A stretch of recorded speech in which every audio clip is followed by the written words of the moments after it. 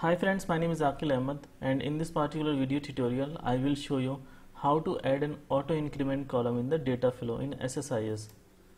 So the agenda of today's video tutorial is how we can add the auto incremental column in the data flow task in SSIS.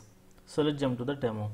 So I have blank SSIS package and I want to import the data from sellers.csv file which contains person's first name, last name, email, gender and the country information and it does not contain any ID column in it. So what I want is that when the this particular file will be imported to a SQL Server table then I want to add an auto increment column but I want to add the increment column in the data flow itself. So I don't want to create it in the SQL Server table instead I want to create it in the data flow. So let's see how we can add it in the data flow. So let me open the SSIS package so what we can do is that we can drag and drop the data flow task into the control flow window because data flow task will be used to import the data from a CSV file to the SQL Server table. So I can just drag and drop the flat file source into the data flow task and then I can configure the flat file source, create new flat file connection manager, flat file and I can browse the file. The file is situated in the D files location. So I will select the CSV files here and I will select this file here click open and the text qualifier is double quote here. If you click on preview so the data seems good here. So I can click on OK. OK. So the flat file source has been configured and now we can just drag and drop the script component into the data flow task. So we will use it as a transformation. So I can click on OK. Now we can connect the flat file source with the script component and we can right click and configure the script component here we need to click on the inputs and outputs. And here we can expand the output and we can click on output columns and we can click on add column. So I can call the new column as ID and the data type will be 4 byte signed integer. So this is good. And now I can go back to the script. And here I can click on edit script so that it will open the script editor for me where I can write the C sharp code. So the script editor window has been opened up and I can just scroll down we need to write our code here input 0 process input row okay?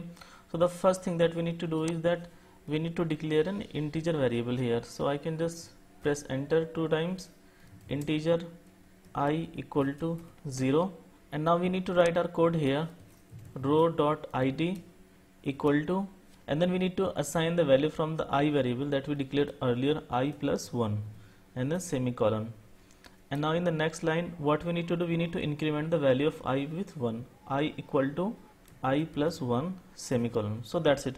So we have written just three line of code. We have declared a int i variable here and assigned the value of the id column with the int i variable and incremented the value with 1 so that's what we are doing here. So i can click on file exit.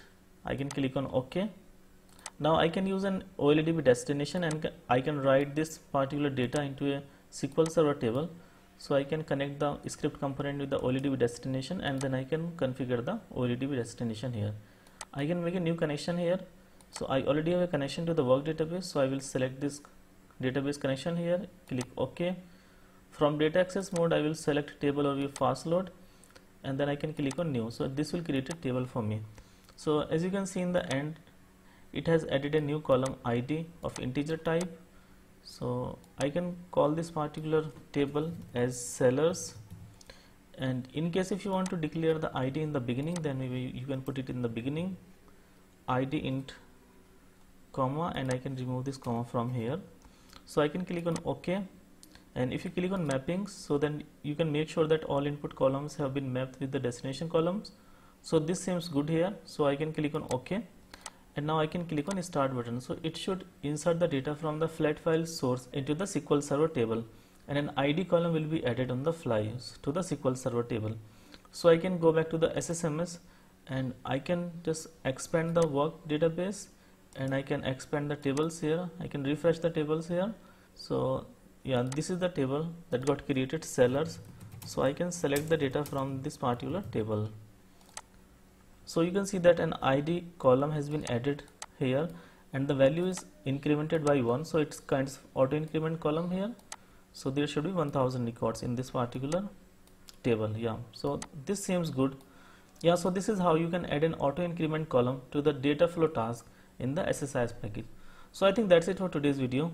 Thank you guys for watching the video. And if you like the video then please click the like button. Do subscribe to our channel. Press the bell icon and click on all so that you will be notified every time I upload a new video. Thank you so much.